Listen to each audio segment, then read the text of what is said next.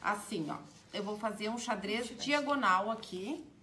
E depois eu vou colocar aquela placa oval em cima com o guardanapo. Então, eu vou fazer o xadrez com o tom de verde que eu usei dentro, que é um verde bem suave. O verde cromo. Então, assim, ó, como eu já mostrei, uh, nós usamos a régua, não é para fazer o xadrez em cima do risco, mas é para nos guiar. Principalmente quando a gente vai fazer esse diagonal.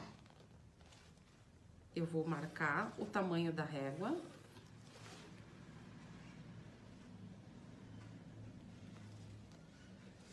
Bem de levezinho.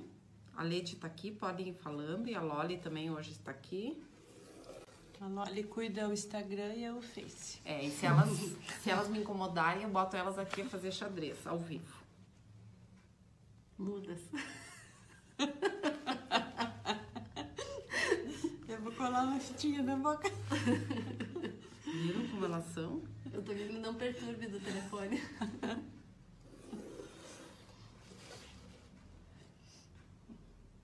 Aluna nova, né, Loli? Sim. Nova velha. E vocês como estão? Quando eu quando eu faço elas fazerem esse xadrez, elas dizem que é um carpado twist duplo. Mas é que assim, o diagonal ele fica mais difícil de fazer sem marcar, porque uh, geralmente a gente vai entortando. Então marca. né? Se chegar no finalzinho não tem espaço. Vai, tem que ser com a régua, né? É. vai girando e quando chega lá. É porque a gente olha e vê a peça, não vê ela reta e daí a gente se confunde. E, eu- e os nossos braços nos traem. Principalmente eu uso essa, essa maneira de fazer também nas ah, plaquinhas de botar nas guirlandas, né? Aquela sim fica torta completamente se você não usar a régua porque ela tem que acompanhar o, essa medida e às vezes parece que não é, mas se você seguir fica bem retinho. Porque tem que ser como se fosse um tecido xadrez recortado dessa forma. Então, se, se a gente não fizer retinho, ele fica todo, quando você olha, ele vai entortando para um lado. Certo? Então, eu vou fazer um xadrez simples, só um mais largo aqui no meio e depois os filetes.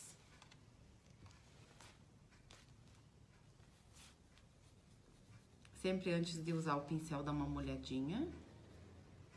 A nossa tinta, eu já falei que ela é mais, um pouquinho mais mole que as demais.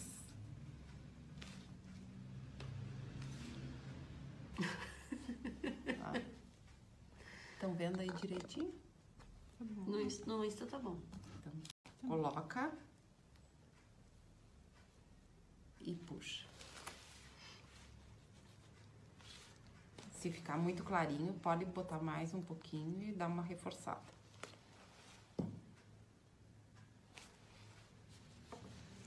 Eu acho que fica bonito o xadrez suave. Às vezes a gente vê uns que usam uma tinta muito grossa.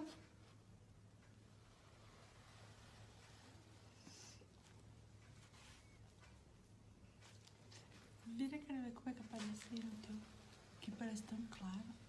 É, mas é claro, né? Mostra Aparece. bebê. Eu vou mostrando aqui. ó. Não, mas dá pra ver isso. Por isso que eu falei com vocês pra baixar um pouquinho, que daí aparece melhor a peça no Insta, porque ele fica de comprido, né?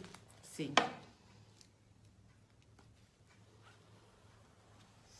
A gente faz um movimento com o braço, não com a mão assim. Tentar fazer isso aqui não vai até o fim.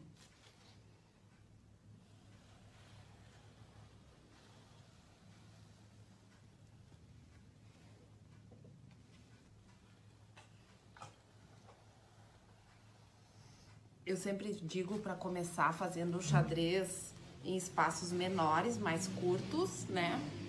E depois você vai perdendo medo, porque o xadrez é só as pessoas têm medo de fazer.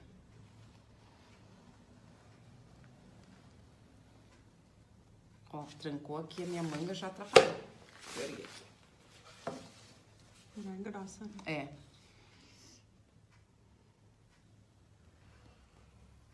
Tudo que é feito manual não fica 100% reto e nem fica bonito também, porque não é feito por uma máquina.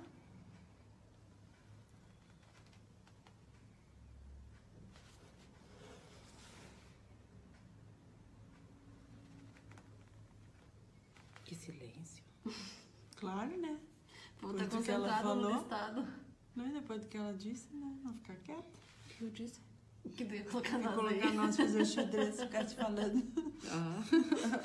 Fica bem quietinha.